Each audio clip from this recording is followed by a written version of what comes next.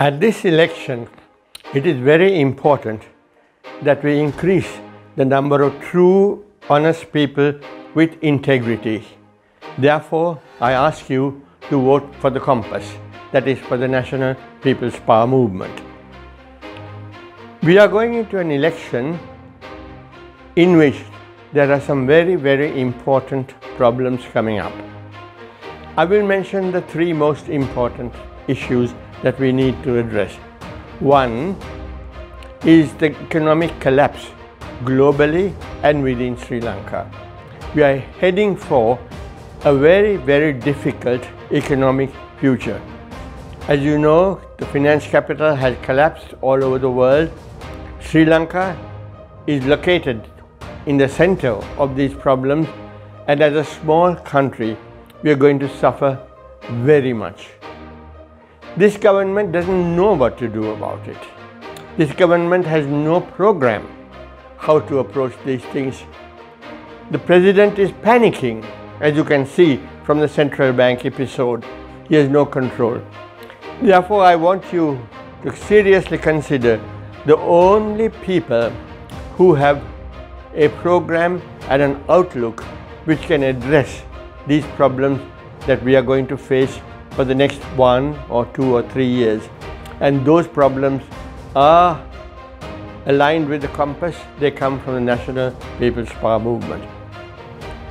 The second question that I want you to draw attention to is the Constitution, the role of the military, and the future of democracy in this country. All of these are reasons for great worry.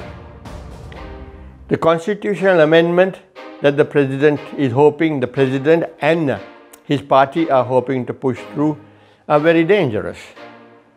They want to centralize power more, not to decentralize power. The military, the military should be kept out of politics. True, the military has done a good job in many things. Fine, let them do it. But don't take the military into politics. All over the world, anywhere that the military has entered into politics, it has been a disaster. Therefore, the question of democracy is being much discussed today and the people who stand for democracy are the people who are with the compass. So therefore again I ask you to vote for the compass. The third issue I want you to, to raise with you as a Tamil is the national question. Today, there is some talk that some Tamil parties may be entering into negotiations with the government and with the president. But don't they see what has happened all these years?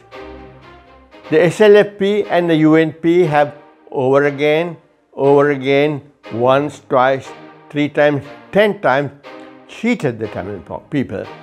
They have given them nothing. They have taken them for a ride.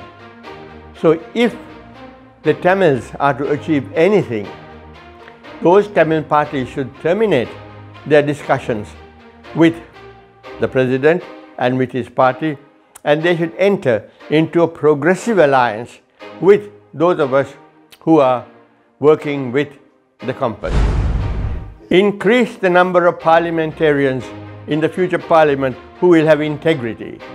Vote for the compass to increase the people who are truly of people of integrity. Vote for the compass.